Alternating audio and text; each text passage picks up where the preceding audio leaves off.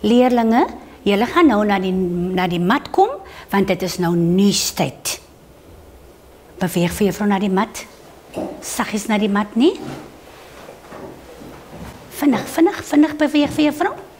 Pragtig. En kruis jou bene.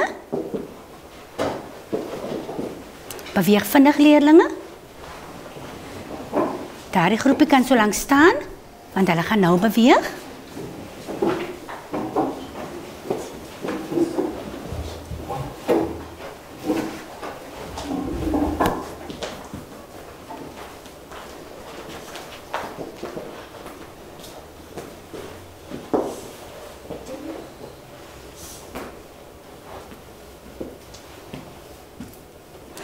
Maar julle lyk so pragtig vandag. Kom ons sê ons rympie, maak hulle toe, maak hulle oop. Is julle gereed vir juffrou? Ja, ja. Kom ons begin. Maak hulle toe, maak hulle oop. Maak hulle toe, maak hulle oop. Maak 'n bakkie net soos 'n boot en vou hulle netjies in my skoot. Leerlinge, ek wil nou graag weet wie van julle het vandag vir juffrou iets om te vertel. Enige nuus wat jy vir juffrou het om te vertel.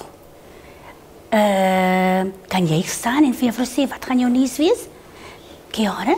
My ma het 'n nuwe baba. Klas, Kiara se mamma het 'n nuwe baba. Kom staan hier langs juffrou.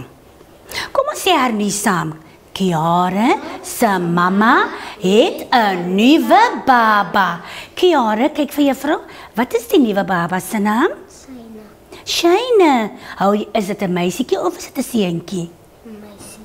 Hou jy van haar? Is sy nog baie klein? Kan jy vir haar optel? Moenie net kop skud nie, kan jy haar optel? Ja, juffrou. En wat is haar naam nou weer? Syna. Shayne. Onthou haar nuus leerlinge, dankie. Kiara staan aan daardie kant.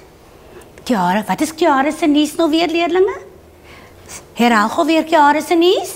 Kiara se mamma het 'n nuwe baba. Wie het nog nuus vir juffrou? Faith. Kom staan hier, Faith. En dan deel jy jou nuus met die res van die klas. Wat is jou nuus, Faith? Ek het na my tante toe gegaan. En wat is jou tante se naam, Faith? Antie Sissie. Antie Sissie. Woon Antie Sissie baie ver? Nee, dit kopskud nie. Ja. Kom ons herhaal.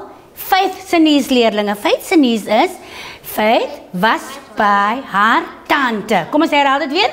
Faith was by haar tante. Wat was Kiara se nuus nou weer leerlinge?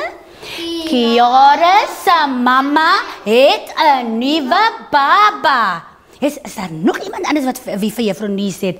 Hier ehm um, Jumna, kom staan hier dat ons hoor wat is jou nuus? Saterdag was my mamma se verjaarsdag. Lieflik en oud was mamma? Kan jy nou onthou nie? Het mamma gesê oud is mamma? 52. Mamma was 52 jaar oud. Sal jy vir juffrou 52 op die telkaart kan wys? Ja, ja. Kom ons kyk of jy so slim is. Dink jy 52 is daar? Nee, ja, ja. Hoekom nie? Tot waar gaan ons eh, gaan tot waar gaan ons getallelyn? 50. Net tot by 50. So as jy by 50 is, hoeveel moet jy nog bytel om 52 te kry? Nog 2. Nog 2. Pragtig. Leerlinge, kom ons herhaal nou weer Jumna se nuus. Jumna se mamma het Saterdag verjaar. Harder vir juffrou. Jumna se mamma het Saterdag verjaar. Kom ons herhaal vyf se nuus. Vyf was by haar tante. Kom ons herhaal Kiara se nuus. Kiara se mamma het 'n nuwe baba. Kiara sê weer jou nuus hardop vir die klas. Faith, kan jy jou jou jou, jou nuus hardop vir die klas sê? Ek het na my tante toe gegaan. Kan jy vir juffrou ander woord gee vir tante? Pragtig, Faith. Herhaal jou nuus vir die klas, Jomna. Saterdag was my mamma se partytjie. En, en en sê sommer vir juffrou nog 'n sinnetjie, hoe oud was jou mamma? My mamma was 52. Jaar oud. Sê dit weer. My mamma was 2 En 50 jaar oud. Baie dankie aan julle drie. Nou leerlinge, ons moet nou iemand se nuus kies. Want die juffrou wil dit mos nou net nou neerskryf. Wat dink julle? Wie se nuus gaan ons vandag kies? Gaan ons Jumna se nuus kies om neer te skryf of Faith se nuus of gaan ons Kiara se nuus gebruik? Kan juffrou kies leerlinge? Kan juffrou kies? Juffrou besluit, juffrou gaan Juffrou gaan Kiara se nuus neerskryf. Nou wat is Kiara se nuus weer? Kiara se mamma het 'n nuwe baba. Kom ons lees die sin leerlinge. Kiara se ma het 'n baba. Kan jy dit gou vir juffrou lees Kiara? Ons gaan nie vir Kiara vra nie want dis haar mammie wat dit, wat die baba het. Jumna, hier lees jy vir ons die sin. Kom lees dit vir ons. Kiara se Se ma het 'n baba en wat sê ons dit? 'n. Punt. Baie dankie.